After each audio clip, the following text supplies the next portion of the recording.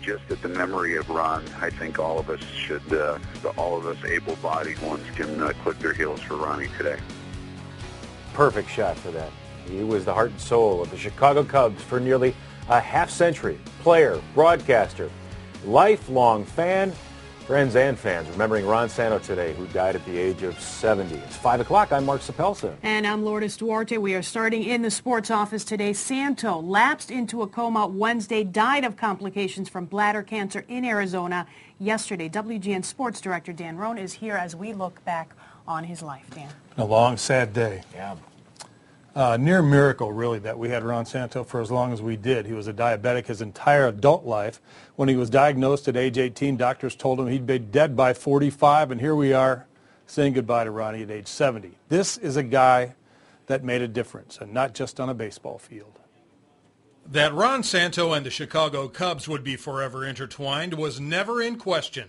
I loved the Cubs when I was in Seattle, Washington. When I watched the Cubs on uh, TV on a Saturday, a game of the week, American League on Sunday, but there was something about Chicago Cubs and Ernie Banks. And all my offers to sign 16 major league teams, the Cubs were the lowest, but I picked them because I felt there was something special, and there is something special. Thus began a 14-year on-the-field marriage between Santo and the Cubs, and it was good. Chicago loved Santo, a blue-collar guy who left it on the field every day. And Santo adored the Wrigley experience. It was obvious by his numbers.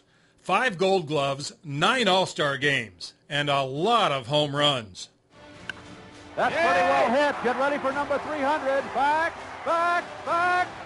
Hey, hey! A home run for Santo, the 300th of his career. 342 when all was said and done. Even though he was not lucky enough to play in a World Series, a life-lasting relationship between Ronnie and the Cubs had been formed. And what set Santo apart even more was that all his baseball greatness was accomplished under the cloud of diabetes. He was diagnosed right after he signed his first contract. We're in playing in San Francisco, and it's early in the morning, and I see the the, the bathroom door was halfway open, and I see Ron get himself an injection. And I look at this, Ron's hitting 336 at that time. I was hitting 210. and I said, Ron, I don't know what that is, but I need some of that. After a final season with the White Sox in 1974, Santo's on-field career was over. But he was back with the Cubs in 1990 as a color analyst on WGN Radio. First with Tom Brennaman, and then 15 years with Pat Hughes. The Pat and Ron Show. You couldn't buy that kind of entertainment. A little pop fly toward Mark Grace. He's waiting. He's got it. The Cubs are in the playoffs. The Cubs win. Brant Brown drops the ball. He drops the ball. He was a great player, so I learned a lot of things about baseball. Um, he also taught me how to laugh at myself. That's a very important thing to learn. Uh, I, I'm sure I will miss him every day for the rest of my life. Santo was winning over a whole new generation of Cubs fans. But as the years went on, Ron's diabetes took a more profound hold on his life.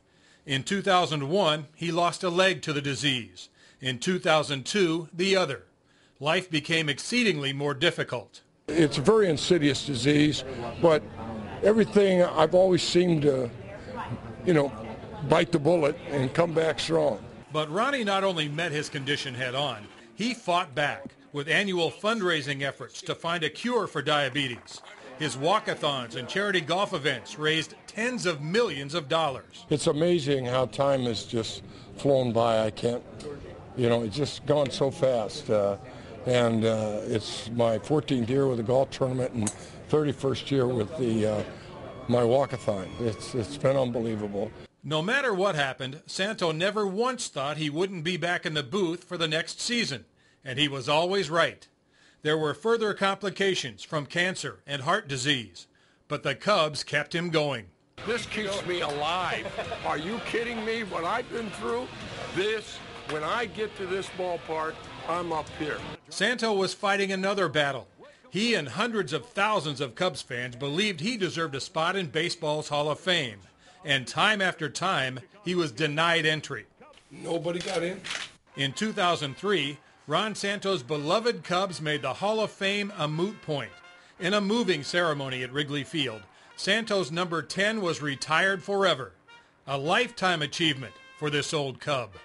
When I was told that they were going to retire my number, and I mean this sincerely, I thought I had to get into the Hall of Fame to have that done because this flag hanging there down the left field line means more to me than the Hall of Fame. That is my Hall of Fame. Tell you, it was a life very well lived by Ron Santo, and we will all miss him, no question about that. Uh, two things Ronnie didn't accomplish in his life. Uh, the Hall of Fame would be one, and the Cubs making or winning a World Series would be number two. But he touched so many people, including Cubs